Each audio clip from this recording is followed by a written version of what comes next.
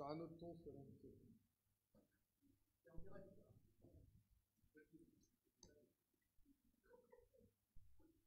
Bon. Merci d'être euh, venu à cette conférence de presse. Euh, nous allons vous présenter notre plateforme de propositions euh, qui va être soumise à, l'échange, à la discussion avec toutes celles et ceux qui voudraient apporter leur contribution. Mais avant, je voudrais dire un petit mot, juste un petit mot sur deux sujets d'actualité qui me préoccupent. La première, c'est exprimer l'inquiétude du Parti communiste français euh, suite aux annonces de vente d'armes, de rafales, de missiles, d'hélicoptères à la Grèce. C'est extrêmement préoccupant. Euh, nous avons appris dimanche que la France venait de vendre 18 rafales, 4 hélicoptères, plus des torpilles et des missiles euh, à la Grèce face à la menace, au coup de menton de la Turquie. Nous nous engageons, nous soutenons une escalade militaire dangereuse euh, en Europe. Je regrette que la France y prenne part de cette manière. Euh, c'est une escalade militaire dangereuse. Ce sont euh, les Grecs, le peuple grec, qui va en plus payer cette facture d'armement lourde, eux qui subissent déjà des politiques d'austérité depuis plusieurs années et nous redisons, nous, notre appel à éviter ou à créer toutes les conditions d'éviter la guerre et la surenchère euh, en Europe. C'est le centenaire du Parti communiste français, nous sommes le parti de la paix et nous le resterons. La deuxième chose, ça concerne les annonces du gouvernement, c'était vendredi, euh, concernant euh, l'épidémie, avec une absence d'annonce, en fait, on a, le gouvernement admet que, euh, constate que le gouvernement circule, le gouvernement, le virus circule de plus en plus, circule fortement. Euh, le Premier ministre a annoncé 42 départements en zone rouge. La situation s'aggrave et pour autant la stratégie du gouvernement ne change pas, euh, hormis l'annonce de 2000 créations de postes à l'assurance maladie. ça ne va pas loin. il faut qu'il y ait un changement de stratégie et plus de moyens humain, euh, matériel, pour développer des tests, pour euh, faire en sorte que nos hôpitaux soient en capacité d'accueillir euh, des patients atteints du Covid et ceux qui sont actuellement en soins. Et ce n'est pas ce que nous avons entendu de la part de ce gouvernement. Pour les tests, c'est encore une fois malheureusement le, défaut de, principe réactif, le défaut de machines pour faire les, tests euh, et le manque de bras qui sont à l'origine de, euh, ces difficultés. Et c'est quand même un, vrai problème dans notre pays. Euh, les principes réactifs et les machines, nous dépendons pour ça, nous dépendons de la Chine, nous dépendons des États-Unis, nous dépendons de la Corée la Corée du Sud. C'est quand même incroyable euh, que notre pays ne soit pas en mesure de, s'approvisionner euh, de, ces, euh, de ces produits, de ces machines pour pouvoir répondre à la demande de tests dans notre pays. Voilà pour ces deux sujets. Je tenais à dire ça quand même pour commencer cette semaine. Et puis, bien sûr, l'actualité pour nous, et c'est l'objet aussi de cette, de cette plateforme, c'est de dire que pour nous, euh, la principale préoccupation dans cette période qui est caractérisée par une double crise économique et pandémique, c'est de dire emploi, pouvoir d'achat, climat, même combat. Emploi, pouvoir d'achat, climat, même combat, parce que tout est lié et que ces craintes, ces menaces qui pèsent sur l'emploi et cette euh, baisse de pouvoir d'achat constatée pour des millions de nos concitoyens sont euh, les principales préoccupations aujourd'hui euh, de nos concitoyens. Et quand le gouvernement met 100 euh, milliards d'euros sur la table dans le cadre d'un plan de relance, il doit contribuer à apporter des réponses sur ces sujets et en même temps créer les conditions d'engager la France dans une autre dynamique en faveur du climat et de la transition écologique. Donc c'est pour ça que c'est aussi une des priorités. Or, nous constatons que ce n'est pas le cas. J'ai eu l'occasion de le dire, mais euh, cette plateforme est là pour le, réaffirmer. Nous disons-nous que quand il y a 460 milliards d'euros mis sur la table dans le cadre du plan de soutien et 100 milliards d'euros au titre du plan de relance, ça fait 560 milliards d'euros sous forme de prêts, de subventions, d'aides directes, d'argent public. Ça doit se concrétiser par une politique qui donne confiance aux Français, qui donne confiance dans l'avenir, parce que le gouvernement est là et il met les moyens sur la table. Or, c'est tout l'inverse qui se produit. Le gouvernement annonce lui-même euh, des plans de licenciement, un million de chômeurs supplémentaires, sans parler de la pauvreté qui augmente. Or, avec autant d'argent public mis sur la table, nous disons-nous qu'il devrait y avoir suffisamment euh, d'éléments pour donner confiance aux Français en, créant, en maintenant les emplois existants et en en créant de nouveaux. Ce sont les propositions que nous avons, que nous avons voulu mettre sur la table, montrant qu'il est possible de créer des emplois dans l'industrie en relocalisant l'activité, dans les services publics en répondant aux besoins, dans la transition écologique parce qu'il y a un défi à relever. Nous disons que pas un centime d'argent public ne doit servir à licencier, pas un centime. Et je peux vous dire qu'en ce moment, euh, durant cet été, et en ce moment, je, multiplie les déplacements à la rencontre de salariés qui font l'objet de, de plans de licenciement. Et pour eux, c'est la double peine.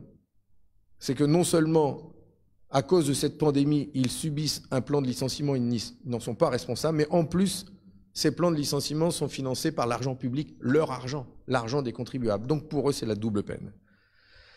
Ça suscite beaucoup, beaucoup de colère. C'est pour cela que nous appelons à l'action, que nous serons présents le 17 septembre avec les syndicats, et que nous appelons à l'action en organisant, nous, à l'initiative des communistes, des élus communistes, des rassemblements devant les préfectures le 10 octobre prochain. Ce qui sera l'occasion dans chaque département de demander au gouvernement des actes précis, concrets, dans le cadre du plan de relance, pour là sauver euh, une usine, là sauver des emplois, là investir dans un hôpital, sauver un service d'urgence. J'ai appris que le service des urgences de Boulogne-sur-Mer, dans ma région, était menacé alors qu'on est en pleine pandémie. Enfin, je veux dire, c'est pas, pas acceptable qu'on ait encore des services d'urgence euh, qui ferment. Et, et donc, on veut que dans chaque département, on aille exiger des réponses très précises sur chaque dossier euh, locaux euh, que, nous, euh, que nous portons. D'une manière, d'un point de vue donc à l'échelle nationale, nous avons voulu faire des propositions pour montrer que d'autres choix sont possibles, pour montrer que quand le gouvernement parle du jour d'après, nous, nous, nous, voulons parler du système d'après, qu'il est aujourd'hui important de sortir du système économique actuel et de s'engager dans un autre modèle économique, social, écologique, solidaire. Ce sont ces propositions que nous avons rassemblées sur une plateforme, d'abord euh, que nous avons rédigée, que nous présentons aujourd'hui sous la forme d'une plateforme numérique, rassemblée sous 17 thématiques, intitulée La France en commun, pour l'humain d'abord,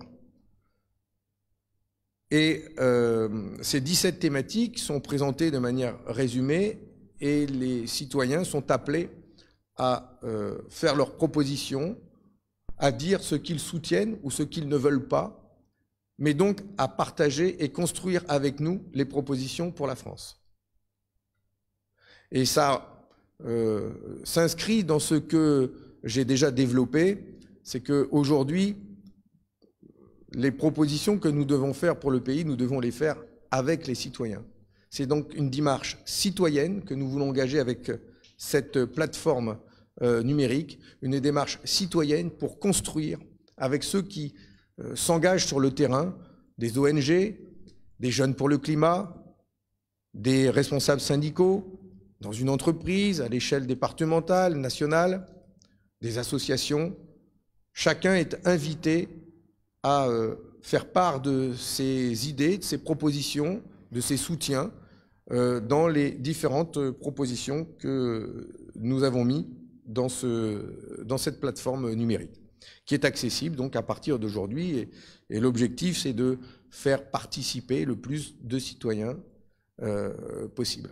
Et euh, nous restituerons euh, cela, et cela va nous enrichir tout au long des semaines et des mois qui viennent pour pouvoir poursuivre donc nos batailles, mais surtout faire du Parti communiste français une force de proposition euh, face aux enjeux qui sont en face de nous.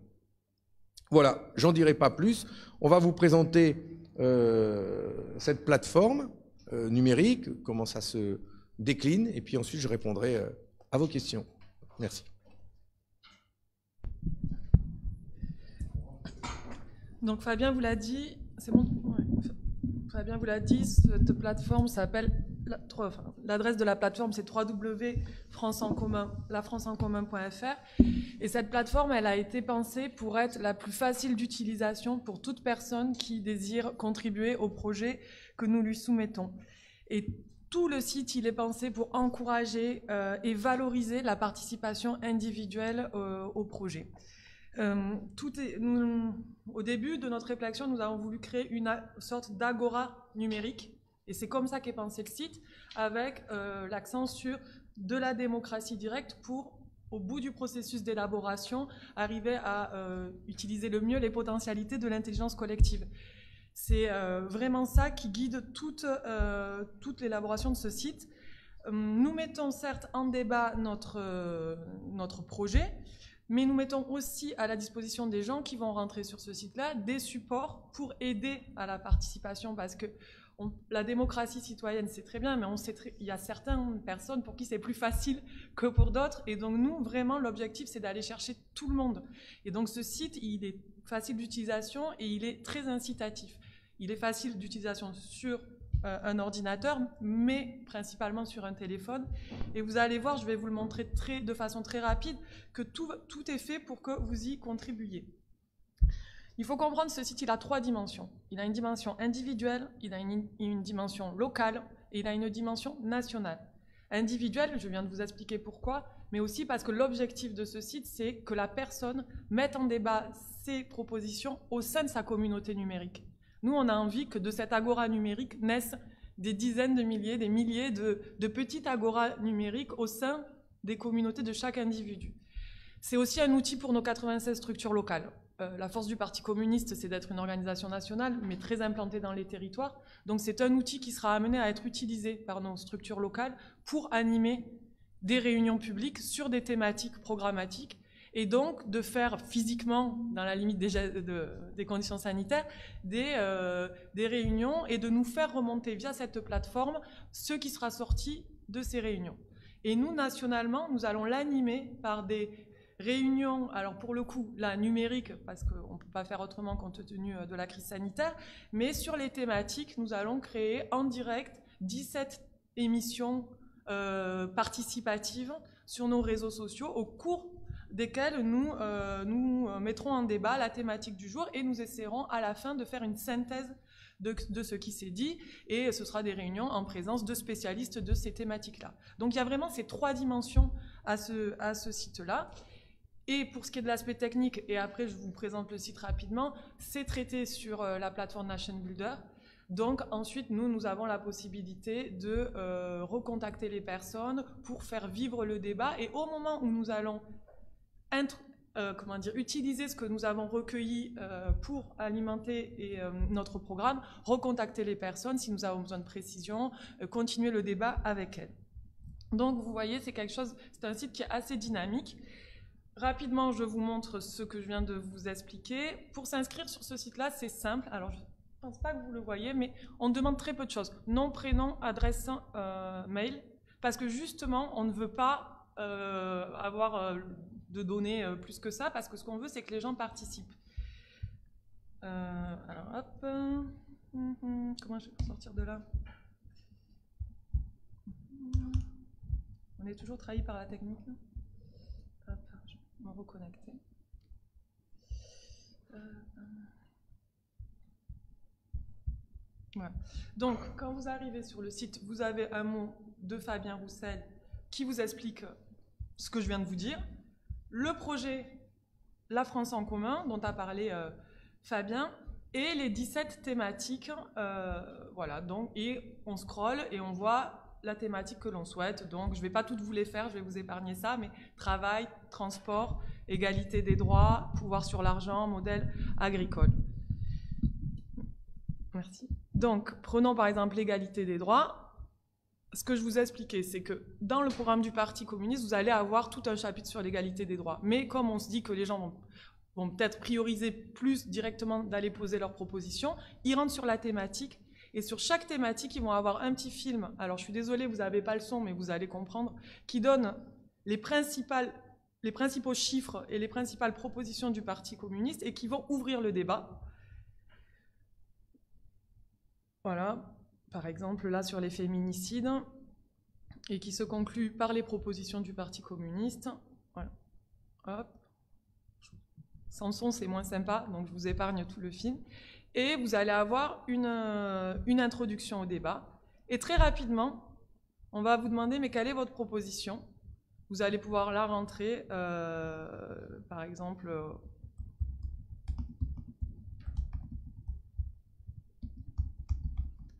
hop. Donc après, vous écrivez... La publier. Et là, de suite, on va vous demander vous allez pouvoir la partager sur Facebook, sur Twitter, par email, par WhatsApp. Vous allez recevoir un email sur votre boîte euh, pour vous inciter encore à, y participer et à, le, et à diffuser ce que vous avez écrit. L'idée, c'est que ça ne soit pas un site fermé qui, qui débat entre, euh, sur lui-même. Et ensuite, vous allez pouvoir... Euh,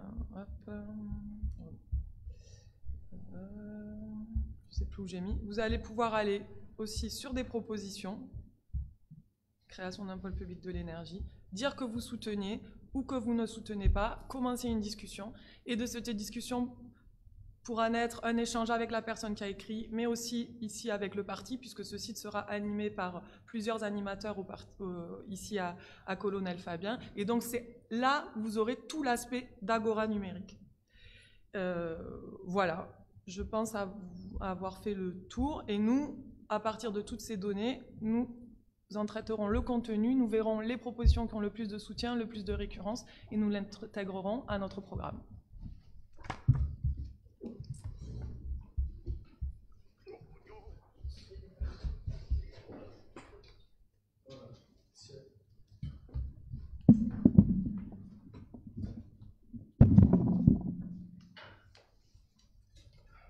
Allez.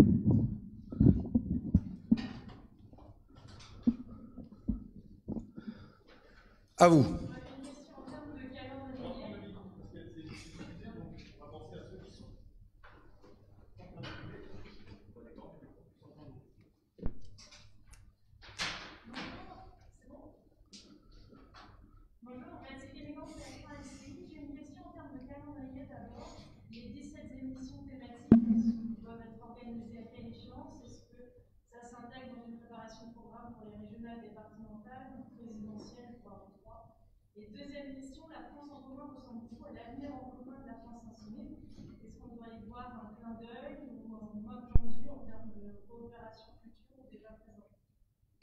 Alors, les 17 propositions sont en partie celles que nous avions déjà mises, euh, euh, que nous avions déjà présentées pendant le confinement. À l'issue du confinement, on avait travaillé à, des propositions. Euh, on les retrouve ici, elles sont rassemblées, illustrées. Elles servent à effectivement montrer qu'il y a d'autres choix à mettre en œuvre en France. Donc, elles ont une dimension nationale euh, dans le cadre du plan de relance, mais elles vont aussi s'inscrire dans les annonces qui vont être faites et dans le débat qui va avoir lieu en France. Euh, donc là, euh, le plan de relance et les 100 milliards d'euros qui sont aujourd'hui mis, sur la table, par exemple, par le gouvernement, eh bien, ces propositions, les 17 thématiques s'inscrivent aussi dedans en disant voilà ce que nous, nous pourrions en faire en priorité. Donc elles ont une vocation nationale. Et lors des euh, journées parlementaires, euh, les députés et les sénateurs ont discuté eux-mêmes des textes de loi qui euh, pourront décliner certaines de ces propositions. Donc, elles vont être mises en débat dans le cadre des, des, échéances qui arrivent. Je pense notamment à la première, c'est le projet de loi de finances, et donc on va pouvoir en parler. Elles vont aider à alimenter nos propositions à l'échelle régionale. Je pense notamment à une proposition que nous défendons, c'est que euh, il y a besoin aujourd'hui d'un contrôle citoyen sur le plan de relance, sur les aides publiques qui sont euh, mises sur la table. Et donc, dans chaque région, nous allons nous battre pour qu'il y ait un contrôle euh, du plan de relance. Et de la manière dont, dans les régions, dans les départements, ce plan de relance préserve le tissu industriel et le développe, que le plan de relance contribue à développer le service public et celui de la santé, et enfin qu'il permette d'engager les investissements nécessaires en matière de transition énergétique avec euh, deux leviers que nous mettons en avant, c'est la rénovation énergétique des bâtiments et le transport et le transport ferroviaire avec des propositions précises euh, qui concernent chacune, enfin plusieurs régions. Donc, il va permettre à alimenter aussi nos discussions à l'échelle régionale. Ça n'empêchera pas que dans des régions, et je pense à ma région des Hauts-de-France, que des régions décident d'avoir leur propre euh, site euh, régional pour décliner régionalement les propositions qui sont, euh, les propositions qui sont propres à la région. les régions aujourd'hui sont des, entités administratives, politiques énormes, de la taille de certains pays de l'Union européenne. Et donc, on, il y a des propositions qui rejoignent celles que nous portons nationalement, mais il y a aussi des propositions que l'on doit porter euh, régionalement. Et dans les Hauts-de-France, les parlementaires communistes des Hauts-de-France, euh, en 2018, avant même euh, le mouvement des Gilets jaunes, au mois de juin, avaient fait une marche pour l'emploi et la dignité à Matignon. Pendant une semaine, on avait traversé notre région et porté des propositions et nous avions rencontré Édouard Philippe à l'issue de cette marche. On avait fait un rassemblement à Paris, d'ailleurs, euh, est André Citroën. Euh, et, donc, nous, on va partir de ce manifeste que nous avons pour les Hauts-de-France pour pouvoir le mettre en débat avec les citoyens. Et, ça croisera les propositions que nous avons là. Donc, voilà, ça, aidera les régionales, mais ça n'empêche pas les régions d'avoir leur propre programme. Voilà. Et, et sinon, le nom, la France en commun, c'était euh, le nom du programme que nous avions défendu déjà en 2017, sans candidat, enfin, en soutenant euh, la candidature de Jean-Luc Mélenchon. Euh, donc c'est, nous reprenons ce programme-là, matinée du slogan L'humain d'abord, pour lequel j'insiste qu'il soit aussi bien présent dans nos matériels, dans nos propositions. L'Humain d'abord, c'est le programme de 2012, je crois. Et donc, euh, l'Humain d'abord 2012, euh, la France en commun 2017, eh bien, euh, nous allons là agglomérer tout ça et l'enrichir dans le débat, et puis on verra ce que ça. On verra ensuite pour 2022. Je me suis déjà exprimé sur 2022, donc je ne vais pas en dire plus là, parce qu'il n'y a, rien de neuf depuis hier ou depuis les universités d'été. Oui.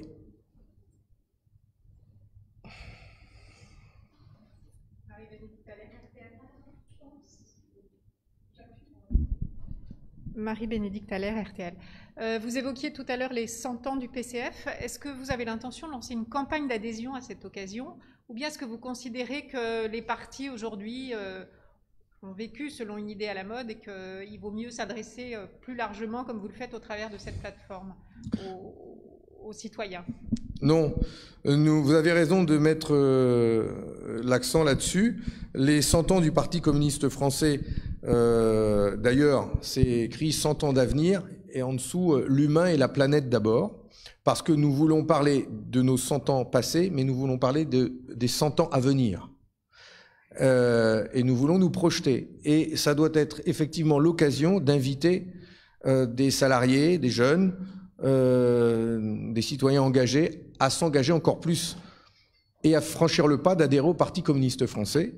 Nous avons réalisé pendant le confinement des adhésions, 800 de mémoire, pendant le premier semestre, mais un paquet pendant le, confinement par les débats, les initiatives prises.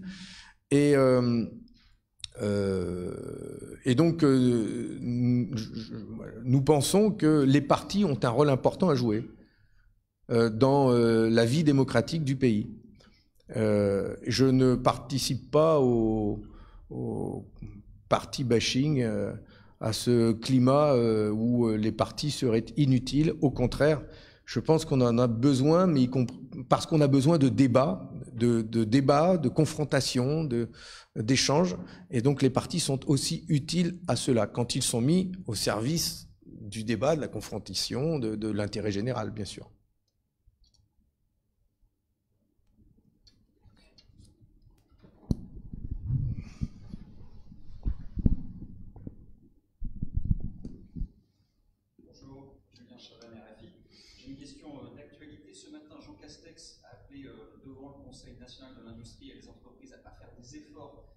Sauvegarder l'emploi. Vous êtes finalement d'accord, mais le gouvernement en a-t-il les moyens selon vous?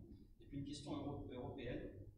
Euh, le gouvernement a annoncé qu'il allait accueillir une centaine de migrants euh, du camp de Moria en Grèce. Est-ce que vous pensez que la France prend sa part de solidarité européenne?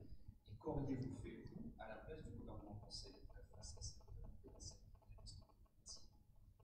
Alors, bien souvent, c'est marrant parce qu'avec euh, le gouvernement, que ce soit le Premier ministre ou avec le Président de la République, dans les déclarations, on peut se trouver d'accord. Parce que quand euh, le gouvernement, le Président de la République parle de souveraineté, de relocalisation, de réindustrialisation du pays, euh, de services publics et de ceux qui sont allés en première ligne et qui sont si mal payés, dont il faut revaloriser les salaires, il coche toutes les cases. Hein. Et nous, on dit oui, mais maintenant on veut des actes. Et le problème, c'est qu'il n'y a pas d'acte, qu'il n'y a pas d'engagement. Et le gouvernement, encore une fois, s'adresse euh, aux grands chefs, euh, grands capitaines d'industrie, en leur demandant de faire attention, de faire des efforts, mais sans, euh, sans engagement précis, sans contraintes, sans règles. Et donc, on, arrive à, des situations incroyables où Renault touche 4 milliards 5 et, et, licencie et se permet même de se désengager de certains de ses sous-traitants, comme euh, les fonderies du Poitou dans la Vienne que je suis allé euh, rencontrer, qui fabriquent des carters et dont le seul client c'est Renault. Airbus euh, va percevoir des milliards d'euros, 7 milliards 5 je crois, et Airbus se désengage et euh, se désengage de, de Richebourg, se désengage de la production de cockpits qui viennent de ma région, la Somme, euh, qui devraient être produits au Portugal. Ce n'est pas acceptable. Donc euh, les appels du gouvernement, c'est bien, mais j'aimerais bien que ça se traduise en actes concrets. Et c'est pour ça que l'on parle de contrôle citoyen. Je vais vous dire, c'est même pas une question de donner de l'argent public en échange de garanties. C'est même pas ça. C'est le contrôle. Et c'est pour ça que nous demandons, dans les propositions qui sont faites là, que les salariés aient un pouvoir de contrôle sur ces aides. Et qu'ils puissent dire, euh, la stratégie de l'entreprise n'est pas juste, nous conduit dans le mur, elle porte atteinte à l'emploi, notre souveraineté économique, à l'environnement. Nous y mettons un droit de veto. Nous voulons, nous allons euh, euh, saisir la justice.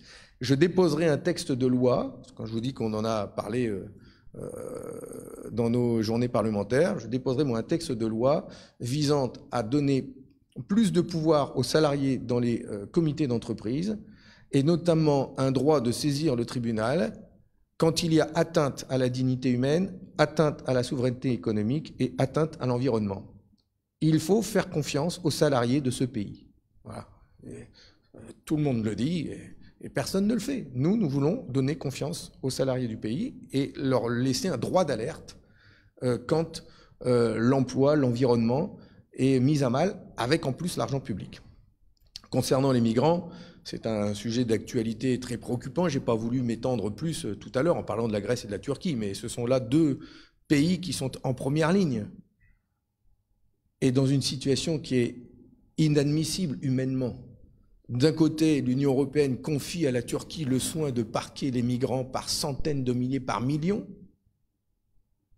Et on a un président turc qui joue avec eux en menaçant l'Union européenne de les lâcher si on l'embête de trop. Vous vous rendez compte où on en est tombé?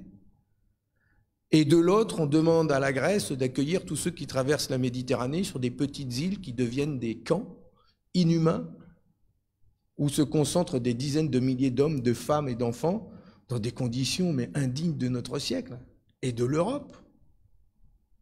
Et là, il y a un camp qui a brûlé et, euh, euh, naturellement, ils protestent, ceux qui vivent là.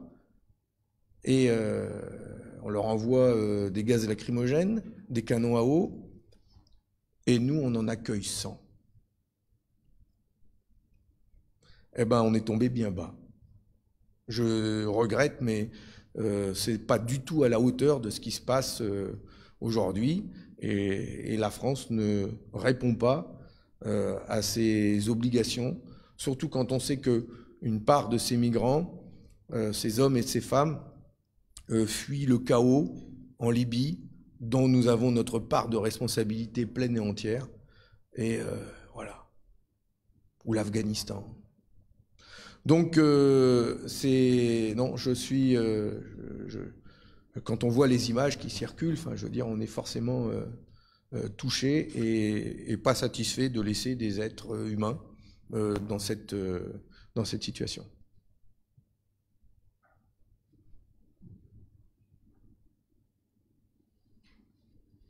En tout cas, ce que j'aurais fait, ce que nous nous aurions fait, nous aurions certainement pas donné à Erdogan euh, le soin de, confiner, de garder chez lui derrière des barbelés les millions de migrants qui, euh, euh, fuient la guerre, des catastrophes écologiques, climatiques.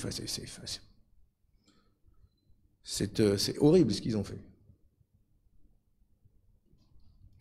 Julien Mlaoui de l'Humanité, sur la mobilisation à laquelle vous appelez pour le 10 octobre, est-ce que l'objectif, c'est euh, aussi euh, de travailler avec d'autres organisations, d'autres formations? Vous évoquiez un appel à contribution des ONG, des syndicats. Est-ce que vous voulez en faire une journée d'action qui dépasse les rangs du PCF Je pense d'ailleurs, par exemple, à ce qui avait pu être fait entre les formations politiques et un certain nombre d'associations de syndicats au moment de la réforme des retraites. Est-ce que c'est à ce niveau-là que vous voulez répondre sur la question de l'emploi et du plan de relance?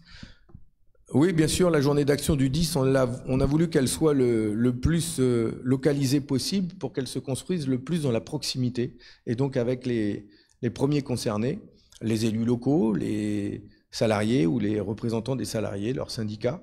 Et donc, euh, c'est à l'initiative euh, de chacun localement de s'organiser pour pouvoir le faire.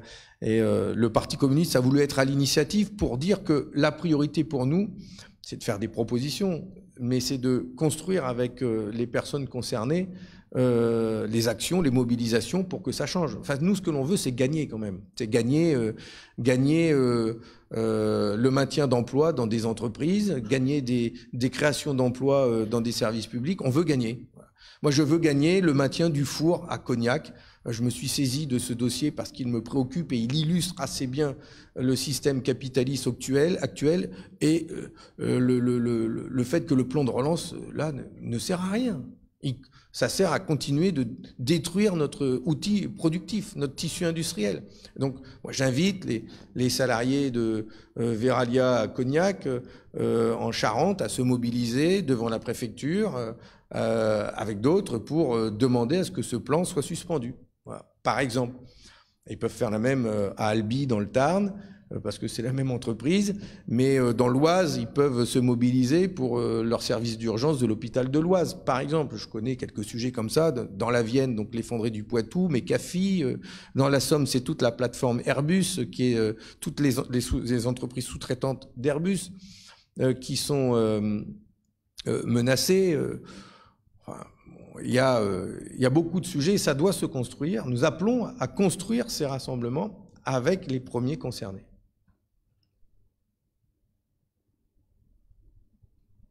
C'est autant d'occasions de pouvoir échanger sur des propositions. Hein. L'action, euh, la mobilisation, ça permet de, débattre sur ce que nous voulons. Ça sert à ça. Oui. Euh, J'ai une question sur les régionales et les cantonales, les départementales. Euh, où en êtes-vous de la stratégie d'alliance, euh, notamment avec la France insoumise? Alors, il y a eu beaucoup d'échos sur la rencontre avec la France insoumise, parce que je crois que la France insoumise a beaucoup communiqué, pas nous. Mais nous discutons avec tous les partenaires, euh, qui ne sont pas d'ailleurs que des forces politiques. Donc je le redis, ce que nous souhaitons, c'est de pouvoir nous construire des rassemblements citoyens, donc avec les gens, les personnes engagées dans un syndicat, une association. Les élections régionales sont l'occasion de construire ces rassemblements sur des listes, avec eux, avec elles. Et nous voulons aussi les construire avec les forces politiques. Nous avons rencontré la France insoumise. Nous, allons, nous avons et nous allons encore rencontrer le Parti socialiste. Et de même avec les Verts au niveau national comme au niveau régional. Et les échanges ont lieu. Et vous savez qu'en plus, ils ont eu d'autant plus lieu, ces échanges, que nous sommes en période d'élection sénatoriale, et qu'à l'occasion de ces sénatoriales, nous avons parlé avec chacune de ces forces. Et nous avons réussi d'ailleurs, dans plusieurs départements, j'ai plus de nombre en tête, mais de, de, de, construire des listes communes ensemble, unissant euh, les communistes, les verts, les socialistes, pour conquérir un maximum de sénateurs et de sénatrices de gauche lors de ces élections. Donc nous discutons avec tout le monde. Pas plus avec l'un qu'avec l'autre en tout cas. Et nous sommes dans la stratégie du rassemblement le plus large à partir du moment où le contenu porte des propositions fortes en rupture avec les choix dominants actuels. Nous n'irons pas dans participer a priori. Nous, on a des statuts, on les respecte hein, chez nous. C'est les communistes qui décident. Hein. Il y a ceux qui déboulonnent les statuts, puis il y a ceux qui respectent les statuts. Donc, euh, c'est pas les mêmes, on dirait. Mais euh, nous ne participerons pas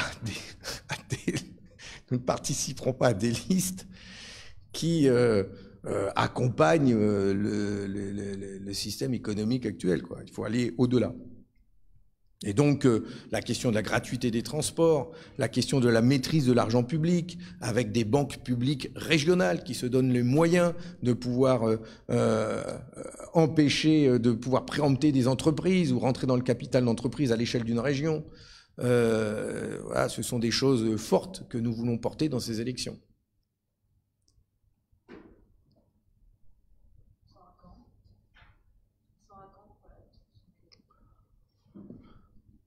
On a, nous, on s'est mis un calendrier de mémoire, c'est mi-octobre euh, pour désigner nos euh, euh, chefs de file dans chaque grande région et, d'engager les, les premières, les candidats dans les élections départementales aussi, parce qu'il y a des élections départementales qu'il ne faut pas oublier, qui sont importantes. Donc on s'est donné mi-octobre. Parce qu'on doit, il n'y a, pas que les chefs de file, hein, il y a la question du contenu. On a déjà eu euh, un conseil national et un exécutif sur les élections régionales pour parler de contenu, d'idées, de, propositions.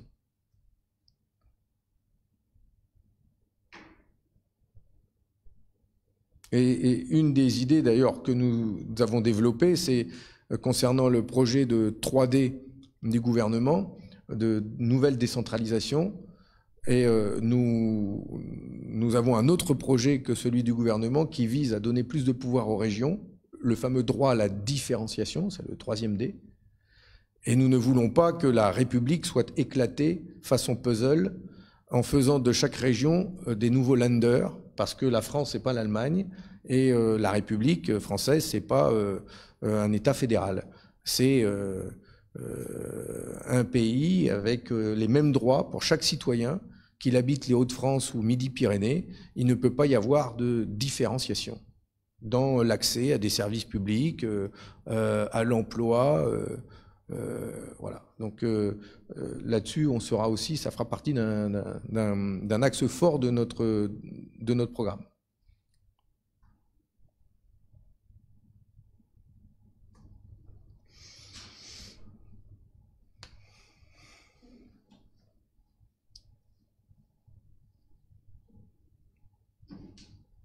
Café. Ah.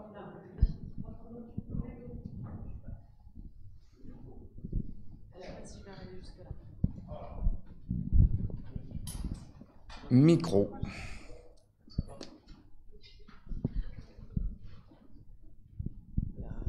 Nadège Puljac de l'AFP, c'est une question à, part. Euh, Excusez-moi, peut-être que vous avez signé hier la tribune, je ne sais plus, sur la 5G. Et je vous repose la question, qu'est-ce que le Parti communiste français pense de la 5G Il y a beaucoup de maires qui demandent le moratoire sur cette euh, question. Voilà. Alors, je sais que ça n'a rien à voir avec le sujet de notre, euh, de notre, de votre conférence de presse, mais c'est un sujet qui m'intéresse beaucoup. Et voilà. C'est un sujet d'actualité. Nous en parlons, euh, nous aussi. personnellement, en tant que député, j'ai euh, saisi le Premier ministre euh, pour lui demander, euh, avant de lancer le processus, puisque ça doit être fait là, demander de, de retarder ce lancement pour tenir compte, pour prendre en compte les différents avis qui doivent être émis, notamment euh, sur la santé. Il y a un avis d'un conseil sanitaire, je ne sais plus lequel, quel est l'organisme précis, mais dont l'avis n'a pas, pas encore été rendu. Et donc, euh, d'abord, nous demandons cela. C'est-à-dire qu'il euh, y ait euh, une forme de moratoire, un moratoire, dans l'attente d'avoir tous les éléments permettant de, de faire des choix en connaissance de cause. La deuxième chose que nous disons, c'est que comme il peut se poser des questions de sécurité, de santé, ou même, euh, de souveraineté sur la maîtrise des données euh, ou euh, d'atteinte au climat pour des questions de, puisque ça va pousser à, changer d'appareil, etc. Il y, a, plusieurs aspects qui touchent dans cette cette réforme, cette mise en place de la 5G. nous demandons aussi que soit, euh, si ça devait se mettre en œuvre, que cela se fasse dans le cadre d'une maîtrise publique. D'une maîtrise publique. Ça ne peut pas être euh, donné au marché. Ça ne peut pas être soumis aux lois du marché et à des grandes entreprises dont l'intérêt sera encore une fois de nourrir des actionnaires, de dégager de la valeur sans tenir compte de la valeur humaine. Et ça, ça nous préoccupe aussi fortement, c'est-à-dire d'avoir une maîtrise publique de ce déploiement et de cette technologie, pour toutes les raisons que je viens d'évoquer, pour la santé, pour l'environnement et, euh, notre sécurité euh, euh, numérique. Ben, j'ai pas dit que j'étais contre, et j'ai pas dit que j'étais pour.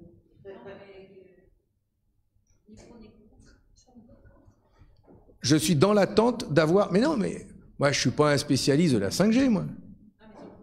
J'attends d'avoir les éléments. J'ai suivi les débats que nous avons eus en commission euh, sur cette question. J'ai euh, au Sénat aussi. Euh, il y a des questions que nous avons posées qui sont aujourd'hui sans réponse. Il y a des enquêtes en cours qui vont apporter certaines réponses à ces questions. Euh, donc, aujourd'hui, je ne vais pas dire pour compte, blanc-noir, moi j'attends de voir. Mais en tout cas, on prévient déjà. C'est que si jamais ça devait se faire en mettant le curseur à tel ou tel endroit, parce que ça dépend aussi où on met le curseur, enfin, il y, a, plein de paramètres là-dedans, nous demandons une maîtrise publique du déploiement de cette technologie. C'est pas euh, n'importe quelle technologie, c'est comme le, nucléaire, c'est important quand même.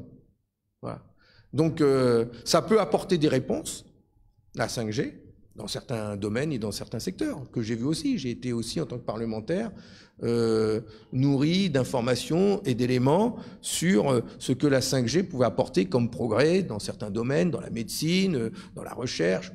Donc, je ne suis pas fermé à tout cela, au contraire. Donc, je ne suis pas dans un niet, point barre, on ne discute pas. Je suis pour être nourri de toutes les études qui vont être faites, rendues là, dans les semaines qui viennent. Euh, on n'est pas, à, on pas à deux mois pareil quand même, c'est ce que j'ai dit au Premier ministre. Ça va, on peut avoir le temps d'avoir un vrai débat là-dessus, puisqu'il existe le débat. Ayons-le.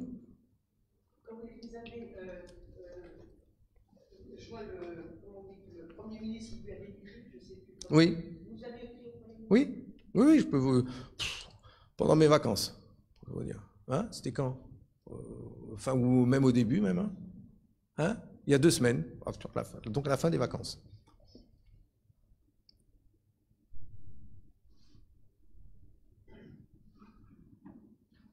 Voilà.